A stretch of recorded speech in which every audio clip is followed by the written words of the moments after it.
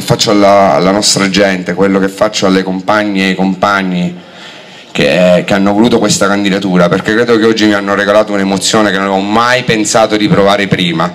Ed è un'emozione strana perché salendo su questo palco è come se tutto quello che ho fatto in politica, tutto quello che, che abbiamo fatto, ecco, tutto quello di cui sono stato parte, oggi è come se non conti più niente l'approccio con la gente ecco, mi fa sperare bene, qui c'è tanta intelligenza, tanta competenza, tanta conoscenza della politica, tanta conoscenza della macchina burocratica amministrativa, ecco l'approccio con la città però è di profondo ascolto. Pochi comizi per strada, ascoltare la gente, capire i problemi, cercare di essere discreto e soprattutto cercare di recepire il più possibile dal, dalla gente per strada.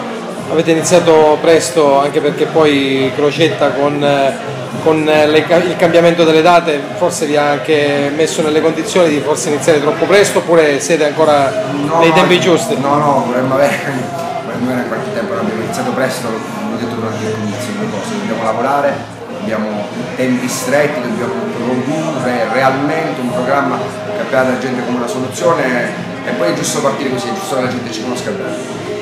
Questa sera, al di là delle parole, mi sembra di aver capito che hai spiegato chiaramente che cosa vuol dire per un eh, catanese, fra virgolette, diventare sindaco di questa città? Ah, io ripeto, mi sono sempre sentito parte di una comunità che andava un po' oltre quella che era, quella che era la città che risulta nella mia, quello che rinasce risulta nella mia carta d'identità. Ecco, io una cosa solo voglio portare di eh, in questa, in questa.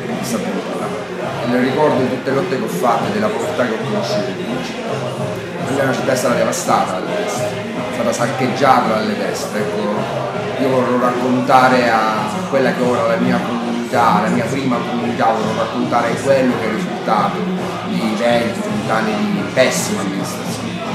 Ci saranno giorni difficili nel senso che questa città adesso scenderà in campo con eh, i tuoi fra virgolette avversari.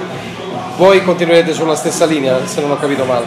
Ma noi, ripeto, vorremmo incontrare questi avversari sul terreno del confronto politico, della proposta concreta, sul terreno anche della chiarezza, ecco, voglio uscire con la giunta, è una sfida che noi facciamo alla politica. Finiamo di nasconderci, di attendere l'ultimo minuto, di attendere gli equilibri, gli apparentamenti, ecco, mettiamo subito in campo il progetto che abbiamo preso. Hai una ricetta molto semplice, quella di, del dialogo con la gente, ma la gente secondo te è disposta ancora ad ascoltare la politica? Io credo che la, gente, la, politica debba tornare a parlare alla testa e alla pancia della gente, debba mettere in connessione quella che è la sua capacità di comprendere, quindi dobbiamo tornarci noi, affidarci della gente per fare in modo che quella gente si fidi di noi. Io credo che con una giusta linea politica, con competenza, conoscenze, con l'amore per questa comunità e quella fiducia nei confronti della gente qualcosa di buono più da